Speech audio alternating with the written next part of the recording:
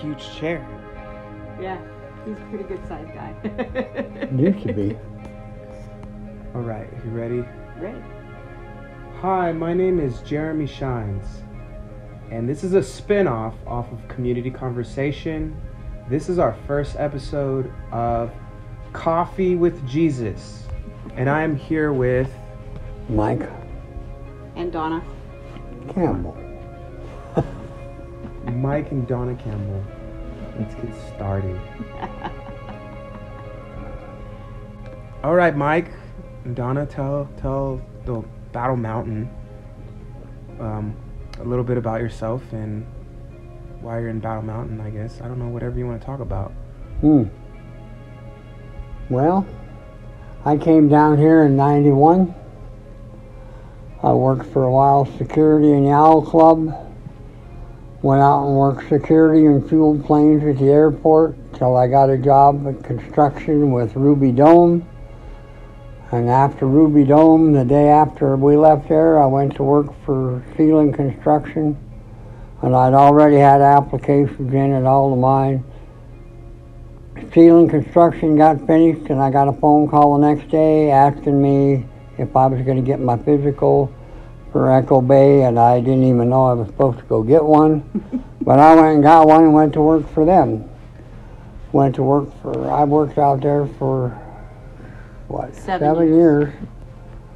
And then I, when the mine kind of more or less shut down, then I went driving truck for a while, moving oversized loads. I used to work in the oil field years and years ago, so I was kind of used to doing that anyway. But I worked for Newmont after that, and I worked for Newmont for 18 years. And then I retired. And I'm enjoying my retirement, but I find myself sometimes wondering if it was a wise thing to do. But all in all, I think it was because I'm doing well. I'm eating. I got roof over my head. I'm happy. I don't have to put up with a lot of politics. Uh, I actually am enjoying myself. I'm trying to get moved out of here and get back home to Montana, and eventually hope we get there. Oh, okay. That's about it for me. You don't like the politics? No, not at the mines. I love politics. Yeah? I love politics too. Don't But get me started. That's one of my soapboxes that I don't care to talk about. I get very angry with some people sometimes. okay. All right. And Remember. Your turn. I, uh, well, like Mike said, we we've been here for 30 years. I, uh, I worked out in the in the workforce for a while. I, was, I worked at at the Owl Club as a cashier, Mm. waiting tables. he was a security guard. hmm Yeah, all our whole family started at the Owl Club. I got here on on uh, Labor Day, 1991. I got here at three o'clock in the morning, and by five o'clock in the afternoon, I went to work at the Owl. Mm. So yeah, and then I worked for Vera Smith Insurance for a number of years as an insurance agent. And then I decided I was going to be a stay-at-home wife, and uh, Mm. after that, I didn't have enough time to work a job. so Mhm. I've been a stay-at-home wife since 2005. So, um, very active in our church life years ago. Um, Mm. still active and actively s- serving the Lord as uh, as He has me serving. So enjoy my time with the Lord. Mm. Yeah. So Mhm. that's this show is Coffee with Jesus. Mhm. How did Huh. how did you come to Christ? You know. Oh, that's a long story. the short version of it is he um, like I said, he never he never was church much as a child. He Mhm. didn't go very often. Um, when we were short, first married, uh, of course, I had I was a churchgoer, and I took my kids quite a bit. Mm. And my husband drove truck for Black Hills Trucking in North Mhm. Dakota for a while. And our son Chancey was probably five at the time, four, four and a half, five years old. Mm. And Mike would be gone for long periods of time, and then he would come home, and and uh, the whole dynamic of the house would change because he'd been gone, you know, and I'd been solely in charge, and then he'd come home and he'd be in charge. Anyway, he came home one day. The boys had been waiting all afternoon to get their cartoons because I'd been watching my soap operas. And they just sat down to watch their cartoons, and Dad come in and said, "Chancy, you gonna take my boots off?" And Chancy turned around and said, "When are you gonna learn how to take your own boots off, Dad?" And Mike says, "Well, that wasn't very nice. What would Jesus have said?" And he said, "How would you know? You don't know him anyway." and that evening, Mike said, "I think maybe I need to start looking," and that started him off. Yeah, Really? So, yeah. something a- like that. Yeah, From a child. From a child. From a Out of the mouths from of the mouths- babes. mouths of babes.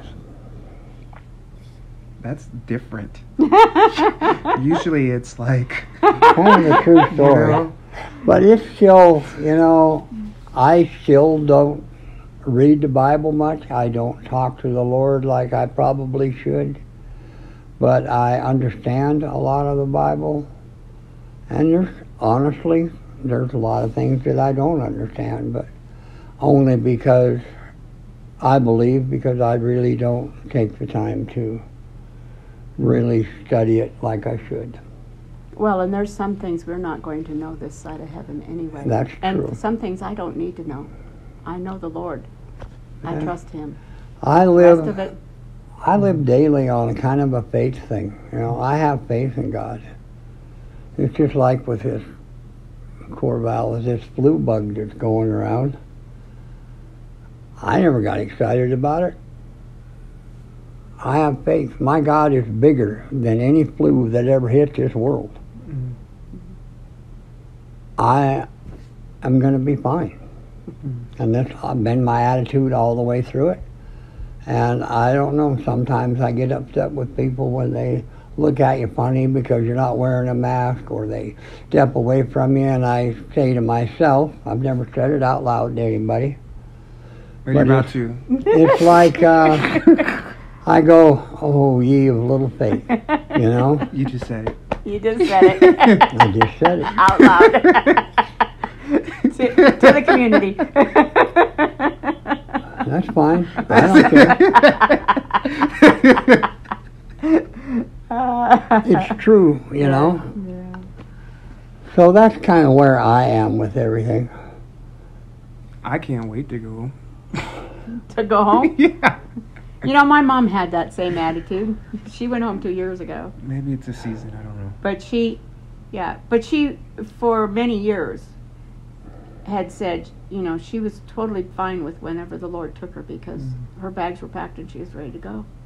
And she got a, she got a cancer diagnosis in December, and she was gone the first of February. And um, the Lord gave me a vision morning that she passed away. Uh, I wasn't in the room at this time, but I, I stepped into the room just moments after she passed. Mm. And there was a vision above her bed of her running into the garden as a little girl with her arms wide open, Mhm. and the Lord picking her up and grabbing hold of her. Mhm. I mean, she was she was she was 80 years old, but she was like a little girl running. Mm. And he picked her up and hugged her to him, and then set her down, and then she went down a row of people, just hugging necks of all the people that she was waiting for. Mhm. And that was her attitude in life. And you know, we, we both have always said uh, to be absent in the bodies to be present with the Lord. So I'm I'm ready. but in the meantime, I got a lot of grandkids and great grandkids I want to see raised up, Yeah. and I want to see this world a good place for them to be raised in. Yeah, I feel the same way. You know, the Lord gave Moses 120 years, and when he did, he gave all of us 120 years. There's no reason why we can't live to be 120 years old if you want to. Mhm. You know, and a lot of people I talk to say they're not, don't even want to be around 120 years old. We're going for 120. But as long as I can keep my faculties about me, you know, and all of that, I don't have a problem with it. But I don't want to be a burden on anybody. So if I get that way, I'm ready to go home too. You know, it's uh, I got brothers and sisters up there waiting for me that I never knew, and I want to meet them someday.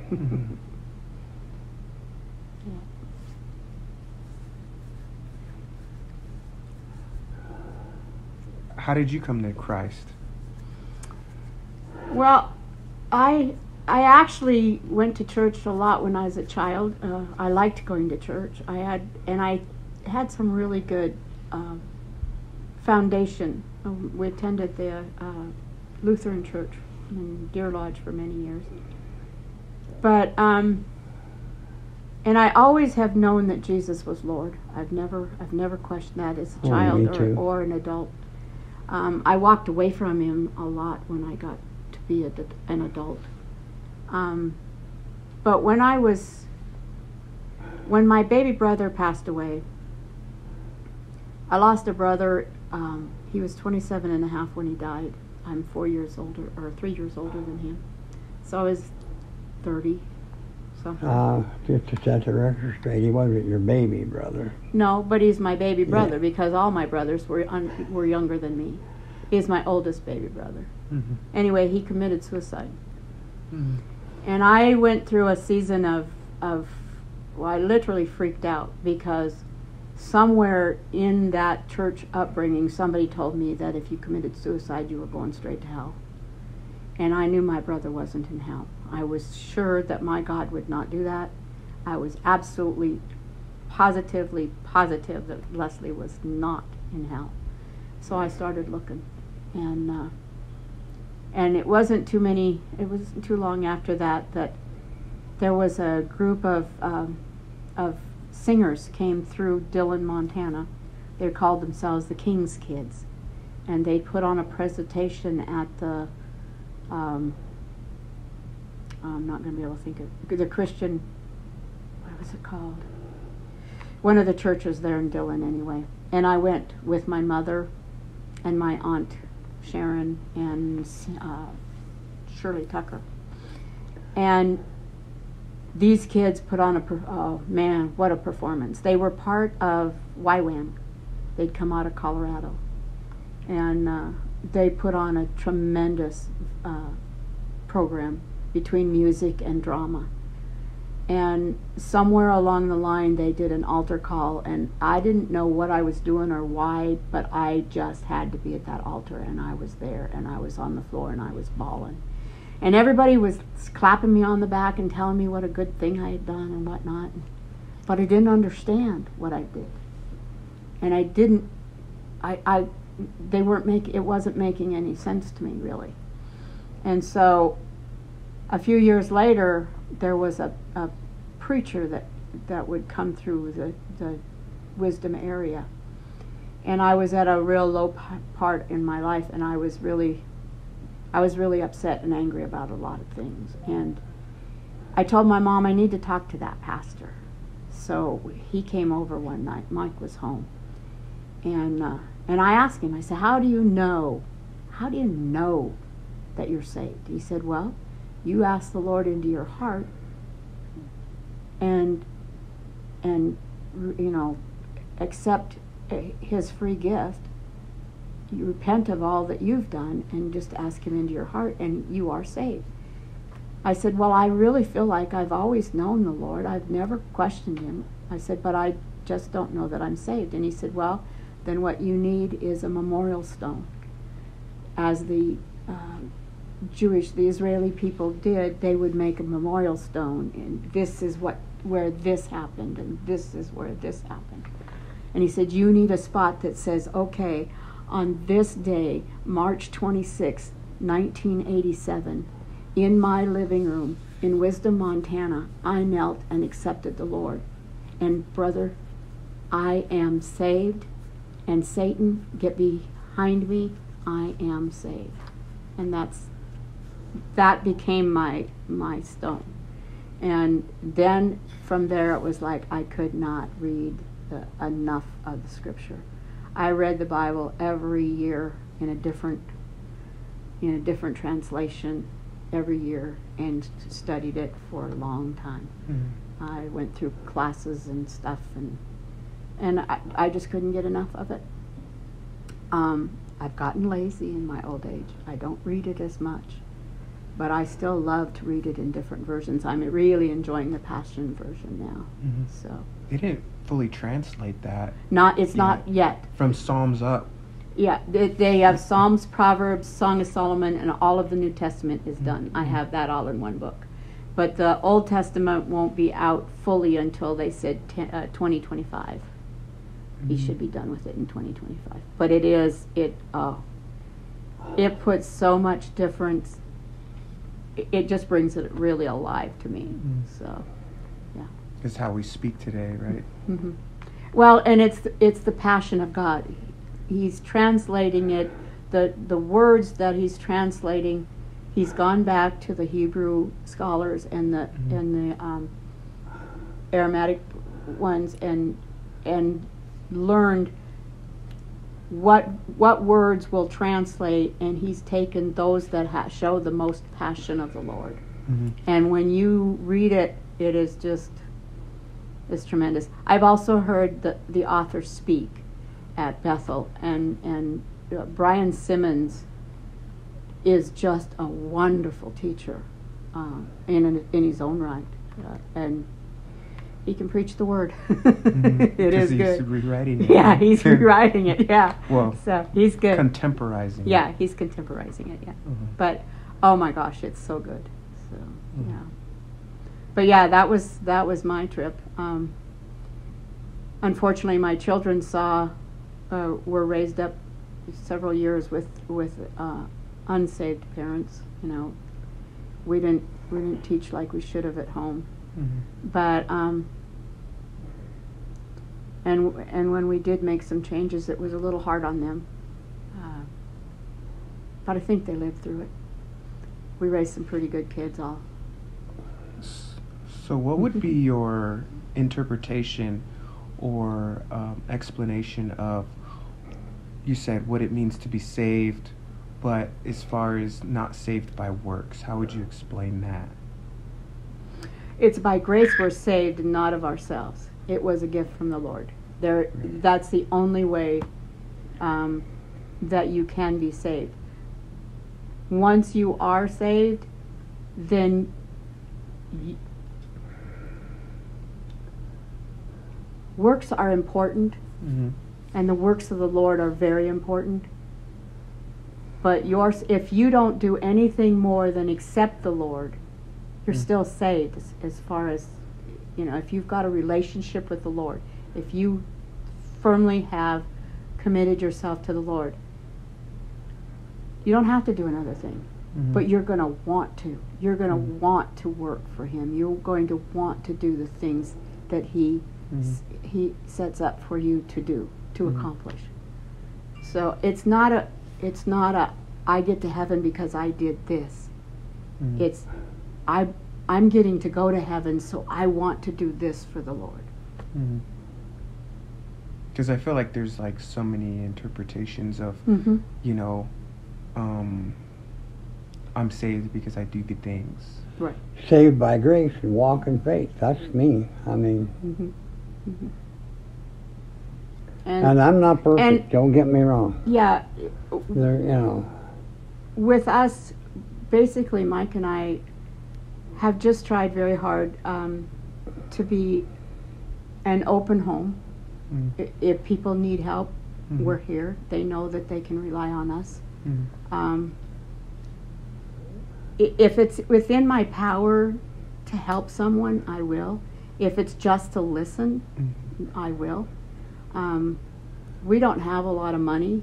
We never have had a lot of money. But you know, we've we've tried to sow into things that that were for the Lord and and did um, give Him honor. Um, but ba- basically, we just like loving on people. Mhm. You know, we're huggers in this house. Yeah. If you don't like hugging, you probably shouldn't come to our house. The, uh, like I was telling you outside a while ago, that backhoe out there was bought simply to help people.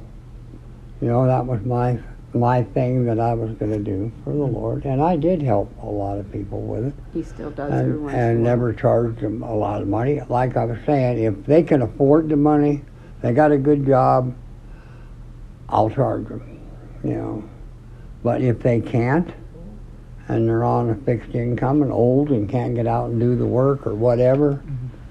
I don't charge anything. Mm-hmm. And I found that most of them, even when I don't, want to give me twenty dollars to fill my fuel tank up, which that tank's not that big, so you know. Sometimes I'll take it, and sometimes I won't. And I try very Yeah. hard not to. Serving the Lord isn't.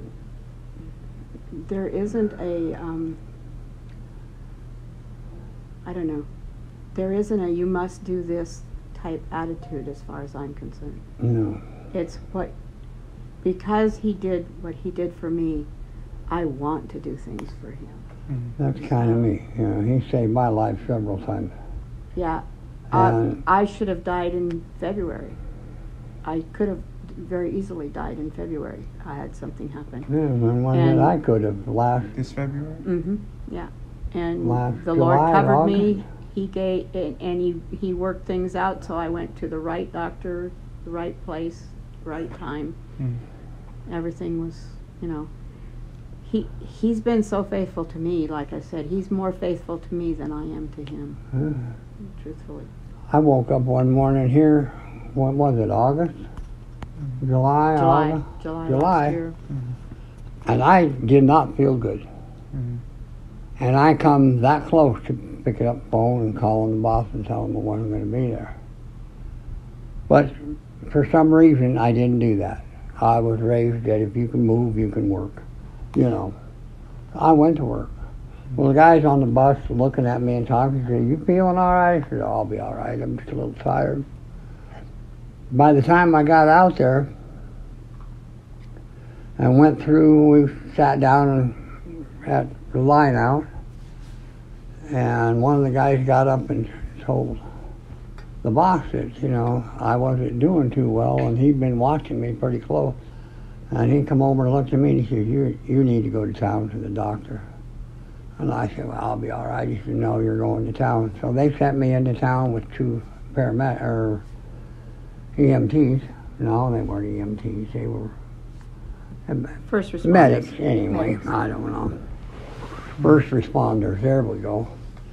And uh, they took me in, and I got into the hospital. And the doctor come in, checked me out, and said, "So, how did you get in here?" I said, "I walked." I don't think he believed me because the two first responders had to verify it. But anyway, they pumped some blood into me and sent me to Salt Lake. And what had happened is I had what they called a GI bleed. One of my major blood veins in my stomach had, or just outside of my stomach, had worked its way into my stomach, and I was bleeding to death on the inside. And the doctor told me, had you have not went to work and just called in and went back to bed, you wouldn't have woke up. Mhm. I was in Montana with my dad. So I didn't even know what's going on until Dusty called me. I had to meet him in Salt Lake City. And they flew me Montana. there. So, you know, it's there again. It's the Lord working. Mm-hmm. Because if I'd had my way, I'd have went to work. I didn't have my way, and it was a good thing, really, because You would I have slept permanently. because the job I was doing, I could have hurt somebody else. Right. You know, at the time I wasn't thinking that way because I wasn't thinking straight anyway. They ended up putting what five? No, They, they had done two two deals of blood here, and they did six more and two platelets at um, Salt Lake. Salt Lake City before they got him stable. So I was They, about they had to go in and cauterize it with a little camera and tool thing. Yeah, they little laser. laser thing. So, yeah. Yeah, it took him a while to come back from that because I was in the took him down hospital pretty for good. what, three days? three days, and then we brought him home and went back to Montana Yeah. to pick up Dad. so, So I guess I would ask one more question for the both of you guys. Um, the people who don't know Jesus, what do you have to say for them, or what would you say? Honestly,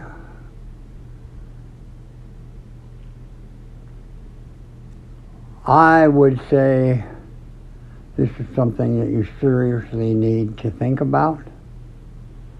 I would tell them some of the things that happened to me, you know, and maybe some of it'll sink in, maybe it won't.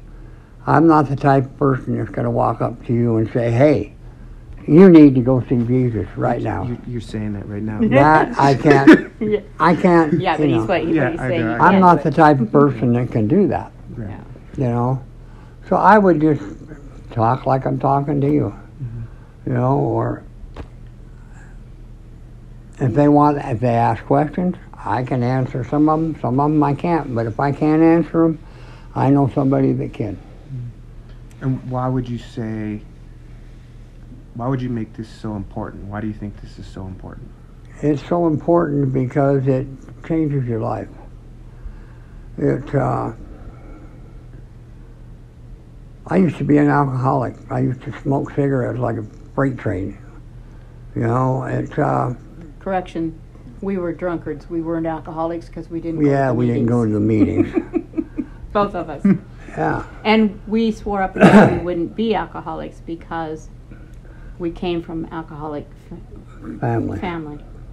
Um, so, for me, I would have to tell people, and I do tell people, um, it's important for you to know Jesus. He will change your life. And I said, you can, uh, you know, I've, I've said this many times. You can go through life without him, and you might do fine. But that doesn't mean that the day isn't going to come that you're going to come face to face with him, and you know, at that time, might be too late. Mhm. So, it is. It's it's life changing. Nobody knows the time. It's life changing. What's the difference between religion and Jesus? Because a lot of people think they're the same thing. Jesus to me is a relationship. It's not a relation. Yeah. Uh, A a religion. religion. I can be religion religious about wearing cowboy boots and, and Levi's and hats. How much money I got in my wallet. I can be That's religious religion. about you know leaving the to house me, at it's a certain it's a relationship, a friendship, if you will. right hmm. You know. That's a good way to put it. with Yeah. with Jesus. Yes, it's like if you if nothing else, set him down in the chair next to you, and and just talk to him, because he that's that's the kind of relationship it should be. Mm. You should be able to tell him anything and everything. He already knows it because he's he's well aware of you know, and he's been there before us. Donna tells So- me that I talk in my sleep, and she doesn't understand a word I'm saying. He's always talking to the Lord. He'll tell you he doesn't talk. The, I know that's probably what it is. And, and maybe I am. I don't know yeah. because I don't remember any of it. You know, I don't remember her even getting out of bed and coming in here or going to the other room, going to sleep or whatever she does. He'll go in and start saying his prayers, and he's talking, you know, saying his prayers, and he'll wake up in the middle of the night, keep right on talking. And it's not at a, it's not at a pitch that I or that I can actually hear the words. It's just that he's talking. Mm-hmm. So yeah, it's a relationship. I don't, I don't pray as often as I should, Mhm. but I talk to the Lord all day long as I'm doing my work. And That's what I've been doing. Yeah. yeah. So. I do that out here messing around with my trailers, and I'm just tinkering. You know, I'm puttering right now, trying to get things going. You know, so I can get out of here. But I won't say I'm getting in a big hurry about it because of the heat right now, Mhm. and I don't like working in the dirt. And I told Donna when we get to Montana, our first house, I'm going to build a shop. and if we have to put that camper inside the shop to live for the first year of winter, why, that's fine. That's what we'll do. I ain't going through any I more like, life I like your explanations for things. I'm gonna put peanut butter on this bread.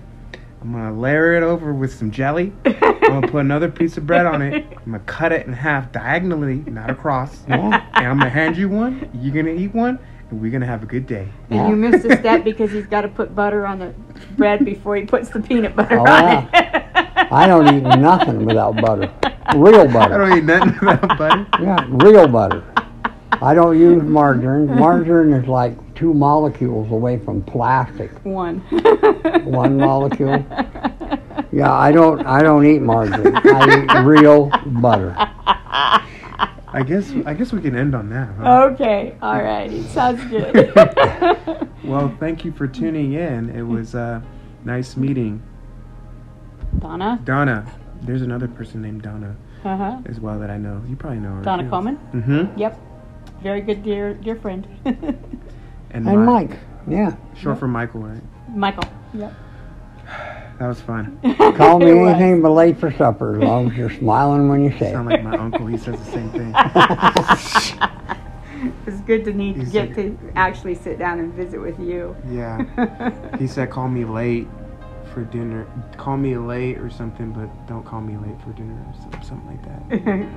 you can call me late for dinner, but don't. What is? How is it you say it? Huh? You can call me anything but late for supper. Yeah, he doesn't want you to call him late for supper. He uses dinner. so- and he, the other thing he'll tell you is if you ask ask him how he's doing. How are you doing? Well, I'm firing frog hair split 47 ways. Frog hair's flipped 47 ways. Yeah. He's better. Yeah, he's That's pretty finer than a frog hair split forty-seven ways. Uh, frog, frogs have hair. he's the first one that's ever said that. you know what? I never questioned it myself. Pretty fine, isn't it? That's pretty funny. I had a, I had a I had a, a login boss one.